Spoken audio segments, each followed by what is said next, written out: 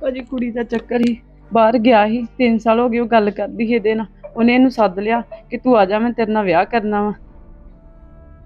ਇਹ ਕਹਿੰਦੀ ਮੈਨੂੰ ਲੈ ਜਾ ਆਣ ਕੇ। ਗਿਆ ਲੈਣ ਇਹਨਾਂ ਨੇ ਬੰਨ ਲਿਆ ਬੰਨ ਕਦੋਂ ਦੀ ਗੱਲ ਕੁੱਟਿਆ, ਹੈ? ਮਾਰਿਆ। ਇਹ ਕੱਲ ਦੀ ਗੱਲ ਵਾ। ਬਾਹਰੋਂ ਆਏ ਨੂੰ 8-9 ਮਹੀਨੇ ਹੋ ਗਏ ਆ। ਕੁੜੀ ਇਹ ਵਿਆਹੀ? ਮੈਰਿਜ ਹੀਗੀ ਇਹਦਾ 8 ਸਾਲ ਦਾ ਮੁੰਡਾ ਸੀਗਾ। ਇਹਨੇ ਦੱਸਿਆ ਨਹੀਂ ਉਹਨੂੰ ਕਿ ਮੈਂ ਵਿਆਹੀ ਆ। ਹਾਂਜੀ ਵੇਖਿਆ ਉਹ ਉੱਥੇ ਜਦੋਂ ਅਸੀਂ ਗਏ ਤੇ ਉਹਨੂੰ ਬੰਨ ਕੇ ਡੇ ਕੁੱਟਣ। ਅਸੀਂ ਬਹੁਤ ਛਡਾਉਣ ਦੀ ਕੋਸ਼ਿਸ਼ ਕੀਤੀ। ਜਦੋਂ ਮੈਂ ਵਿੱਚ ਗਿਆ ਤਾਂ ਉਹਨਾਂ ਮੈਨੂੰ ਵੀ ਕੁੱਟਿਆ ਨਾਲ ਹੀ। ਮੇਰੇ ਲੱਕ 'ਚ ਪ੍ਰਾਣੀ ਮਾਰੀ ਉਹਨਾਂ। ਅਜੀਤ ਵੈਬ ਨਿਊਜ਼ ਤੇ ਆਪ ਸਭ ਨੂੰ ਇੱਕ ਬੜੀ ਹੀ ਦੁਖਦਾਈ ਖਬਰ ਤੋਂ ਜਾਣੂ ਕਰਵਾ ਰਹੇ ਹਾਂ।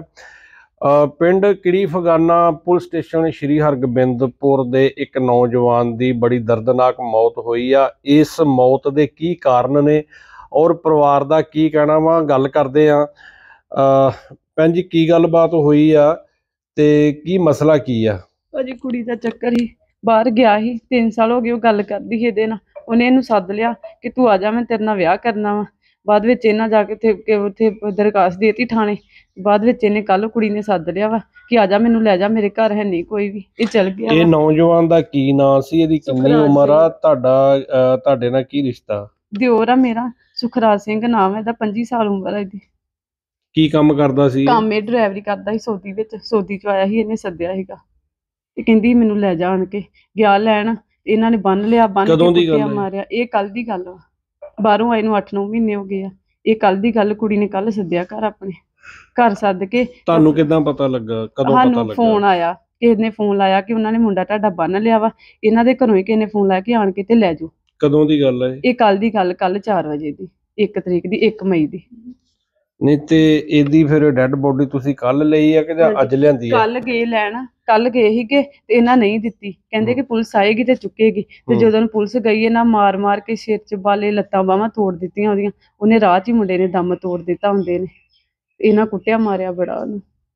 ਹੁਣ ਪੁਲਿਸ ਕਾਰਵਾਈ ਕਰ ਰਹੀ ਆ ਮੁੰਡੇ ਦੀ ਲਾਸ਼ ਕਿੱਥੇ ਆ?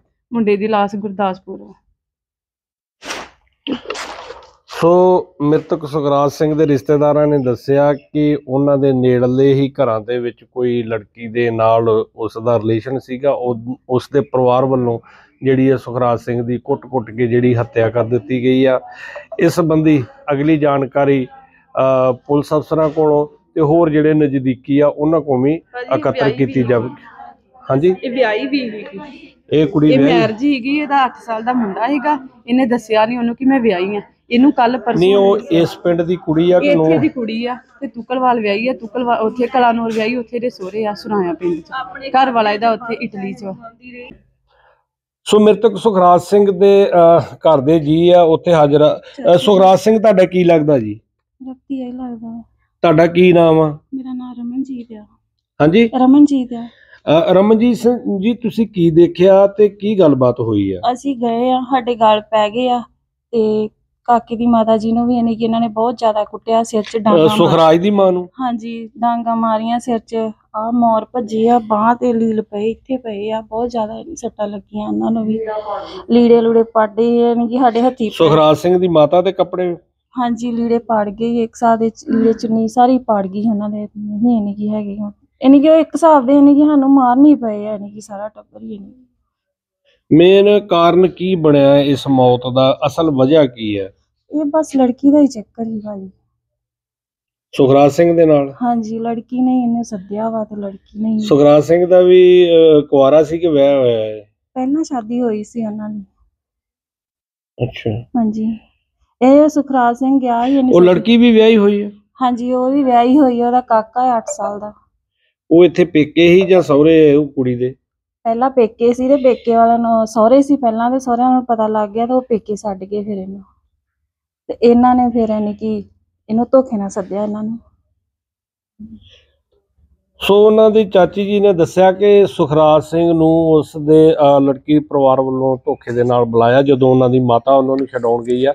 ਉਹਨਾਂ ਤੇ ਵੀ ਹਮਲਾ ਆਇਆ, ਉਹਨਾਂ ਦੇ ਵੀ ਜਿਹੜੇ ਆ ਵੱਡੇ ਪੱਧਰ ਦੇ ਉੱਤੇ ਜਿਹੜਾ ਉਹ ਕੁੱਟਮਾਰ ਕੀਤੀ ਗਈ। ਸੋ ਇਸੇ ਤਰ੍ਹਾਂ ਮ੍ਰਿਤਕ ਸੁਖਰਾਜ ਸਿੰਘ ਦੇ ਪਰਿਵਾਰ ਦੇ ਹੀ ਨੌਜਵਾਨ ਆ। ਅਹ, ਕਾਕਾ ਜੀ ਕੀ ਨਾਂ ਤੁਹਾਡਾ? ਜਸਪ੍ਰੀਤ ਸਿੰਘ। ਜਸਪ੍ਰੀਤ ਸਿੰਘ ਕੀ ਗੱਲਬਾਤ ਹੋਈ ਆ? ਤੁਸੀਂ ਕੁਝ ਅੱਖੀ ਵੇਖਿਆ?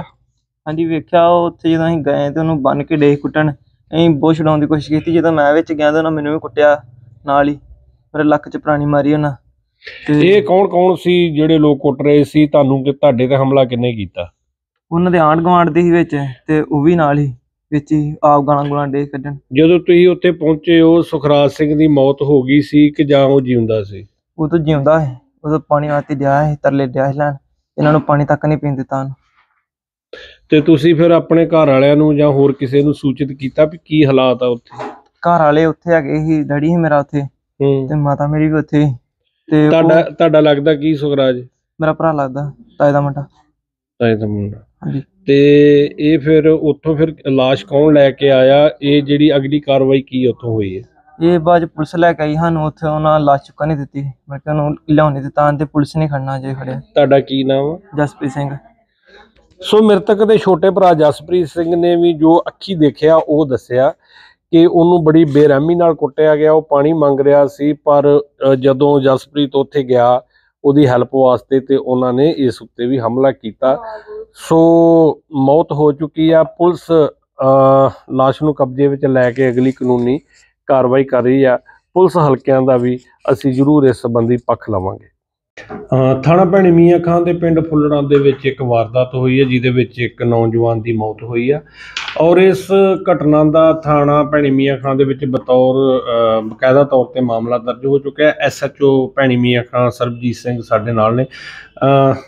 ਸਾਰੇ ਕੀ ਘਟਨਾ ਹੋਈ ਆ ਤੇ ਪੁਲਿਸ ਨੇ ਹੁਣ ਤੱਕ ਕੀ ਕਾਰਵਾਈ ਕੀਤੀ ਆ? ਸਾਡੇ ਰਾਤੀ ਇਨਫੋਰਮੇਸ਼ਨ ਆਈ ਸੀ ਜੀ ਜਿਹੜਾ ਸੁਖਰਾਜ ਸਿੰਘ ਦੇ ਬਜ਼ੁਰਗ ਸਰਦਾਰ ਬਲਕਾਰ ਸਿੰਘ ਉਹਨਾਂ ਨੇ ਆਣ ਕੇ ਕੰਪਲੇਂਟ ਕੀਤੀ ਕਿ ਮੇਰੇ ਬੱਚ- ਬੇਟੇ ਨੂੰ ਇਹਨਾਂ ਦੇ ਪਿੰਡ ਫੁੱਲੇ ਦੇ ਵਿੱਚ ਗਿਆ ਸੀਗਾ। ਤੇ ਉੱਥੇ ਮੈਡੀਸਨ ਇਹਨੇ ਖਾਧੀ ਹੈ ਜਿਹੜੀ ਇਹਨੇ ਸਲਫਾਸ ਖਾਧੀ ਸੀਗੀ EMPLOYEES ਨੂੰ ਵੀ ਇਨਫੋਰਮੇਸ਼ਨ ਮਿਲੀ ਸਾਨੂੰ ਜਦੋਂ ਇਨਫੋਰਮੇਸ਼ਨ ਮਿਲੀ ਅਸੀਂ ਪਹੁੰਚਿਆ ਹੋਰ ਵੀ ਉੱਥੋਂ ਇਹਨੂੰ ਆਪਾਂ ਉਠਾ ਕੇ ਨਾਲ ਪਬਲਿਕ ਦੀ ਹੈਲਪ ਲੈ ਕੇ ਇਹਨੂੰ ਆਪਾਂ ਭੇਜਿਆ ਹਸਪੀਟਲ ਹਰਚੋਵਾਲ। ਹਰਚੋਵਾਲ ਵਾਲਿਆਂ ਨੇ ਜਵਾਬ ਦੇ ਦਿੱਤਾ ਫਿਰ ਗੁਰਦਾਸਪੁਰ ਜਾ ਕੇ ਇਹਦੀ ਡੈਥ ਹੋ ਗਈ। ਅ, ਘਰ ਵਾਲਿਆਂ ਦਾ ਕਹਿਣਾ ਕਿ ਉਹਨਾਂ ਦੀ ਕੁੱਟ-ਕੁੱਟ ਕੇ ਜਿਹੜੀ ਉਹਦੀ ਹੱਤਿਆ ਕੀਤੀ ਗਈ ਹੈ ਸਵਰਾਜ ਦੀ। ਔਰ ਇਹਦੇ ਵਿੱਚ ਤੁਸੀਂ ਦੱਸ ਰਹੇ ਹੋ ਕੋਨੇ ਕੋਈ ਪਾਈਜਨ ਵਗੈਰਾ ਵੀ ਖਾਦਾ ਤੇ ਕਿਹੜੇ ਅ, ਧਾਰਾਵਾਂ ਦੇ ਤਹਿਤ ਮਾਮਲਾ ਦਰਜ ਹੋਇਆ? ਧਾਰਾ ਮਰਡਰ ਜੀ ਆਉਂਦਾ ਜੀ 306 34 ਇਹਦੇ ਵਿੱਚ ਜਿਹੜੇ ਜਿਹੜੇ ਬੰਦੇ ਇਨਵੋਲਵ ਹੋਏ ਆ ਘਰ ਦੇ ਜਿਹੜੇ ਮੇਨ ਬੰਦੇ ਸੀਗੇ ਜਿਨ੍ਹਾਂ ਦਾ ਕਸੂਰ ਆਮ ਪਬਲਿਕ ਦੇ ਵਿੱਚੋਂ ਪਤਾ ਲੱਗਾ ਕਿ ਆ ਆ ਬੰਦੇ ਜਿਹੜੇ ਇਹਨਾਂ ਦਾ ਕਸੂਰ ਹੈਗਾ। ਇੱਕ ਤੇ ਉਹ ਲੜਕੀ ਦੇ ਨਾਲ ਇਹਦਾ ਕੋਈ ਸਬੰਧ ਸੀਗਾ। ਹਰ ਥਾਣਾ ਸ਼੍ਰੀ ਹਰਗੋਬਿੰਦਪੁਰ ਇਹਨਾਂ ਦੀ ਕੋਈ ਕੰਪਲੇਂਟ ਸੀਗੀ ਉਹਦੇ ਉੱਤੇ ਉਹਨਾਂ ਨੇ ਟਾਈਮ ਦਿੱਤਾ ਸੀ ਅੱਜ ਦੀ ਤਰੀਕ ਦਾ। ਕੱਲ ਉੱਥੇ ਇਹ ਸ਼੍ਰੀ ਹਰਗੋਬਿੰਦਪੁਰ ਥਾਣੇ ਤੋਂ ਹੋ ਕੇ ਆਏ ਨੇ। ਉੱਥੋਂ ਆਣ ਕੇ ਇਹਨੇ ਜਿਹੜਾ ਇਹ ਇੱਥੇ ਇਹਨਾਂ ਦੇ ਘਰ ਮੋਟਰਸਾਈਕਲ ਤੇ ਪਹੁੰਚਾਇਆ। ਪੁਲਿਸ ਨੇ ਹੁਣ ਤੱਕ ਕੀ ਕਾਰਵਾਈ ਕੀਤੀ ਆ ਔਰ ਕਿੰਨੇ ਕੁ ਬੰਦੇ ਜਿਹੜੇ ਨਾਮਜ਼ਦ ਕੀਤੇ ਆ? ਦੇਖੋ ਜੀ ਇਹਦੇ ਵਿੱਚ ਤਿੰਨ ਬੰਦੇ ਨਾਮਜ਼ਦ ਹੋਏ ਆ। ਇੱਕ ਲੜਕੀ ਦਾ ਭਰਾ ਆ ਇੱਕ ਲੜਕੀ ਖੁਦ ਵਾ ਇੱਕ ਉਹਦੀ ਭਰਜਾਈ ਹੈ ਜਿਹੜੇ ਬਾਈ ਨੇਮ ਆ। ਬਾਕੀ ਅਣਪਛਾਤੇ ਵਿਅਕਤੀ ਆ। ਉਹ ਤਸਦੀਕ ਕਰਕੇ ਜਿਹੜੇ ਜਿਹੜੇ ਵਿੱਚ ਹੋਣਗੇ ਉਹਨਾਂ ਨੂੰ ਇਨਵਾਲਵ ਕੀਤਾ ਜਾਊਗਾ। ਸੋ ਪੁਲਿਸ ਦੇ ਕਹਿਣ ਅਨੁਸਾਰ ਉਸ ਲੜਕੇ ਨੇ ਪੋਇਜ਼ਨ ਵੀ ਖਾਦਾ ਲੜਕੀ ਵਾਲਿਆਂ ਦੇ ਘਰ ਜਾ ਕੇ ਔਰ ਨਾਲ ਦੀ ਨਾਲ ਅ, ਉਸ ਦੇ ਨੌਜਵਾਨ ਦੇ ਗੰਭੀਰ ਸੱਟਾਂ ਵੀ ਸਰੀਰ ਤੇ ਆਈਆਂ ਨੇ। ਪੋਸਟਮਾਰਟਮ ਦੀ ਰਿਪੋਰਟ ਦੇ ਅਨੁਸਾਰ ਹੀ ਪੁਲਿਸ ਕਾਰਵਾਈ ਕਰੇਗੀ। ਅ, ਜੀਤ ਵੈਬ ਲਈ ਪਿੰਡ ਫੁੱਲੜਾ ਥਾਣਾ ਭੈਣੀ ਮੀਆਂ ਖਾਂ ਤੋਂ ਕੁਲਦੀਪ ਸਿੰਘ ਸਾਥੀ ਕੈਮਰਾਮੈਨ ਜਸਬੀਰ ਸਿੰਘ ਬਾਜਵਾ ਦੇ ਨਾਲ।